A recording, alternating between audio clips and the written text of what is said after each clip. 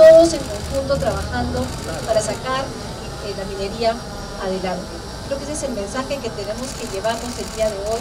Agradecer a Arequipa siempre por su hospitalidad, por ser sede siempre de Perumil, 33 edición, por recibir a 60.000 personas que van a venir justamente a esta sede, y no solamente para ver los adelantos tecnológicos, sino que va a ser un espacio de diálogo, un espacio para discutir acerca de políticas públicas, tanto desde el lado, si se quiere, de la permisología, pero más importante, sobre cómo hacer minería que sea responsable, sostenible con el medio ambiente. Y por supuesto, nos llevamos la tarea, y lo hemos conversado hoy en la mañana, de cómo hacer que la minería tenga un planeamiento a largo plazo.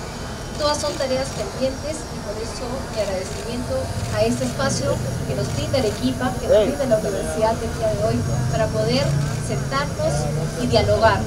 Un país que no dialoga, un país que no tiene fuentes, es un país que no va a poder tener. Muchas gracias a todos. Gobierno del Perú, trabajando para todos los peruanos.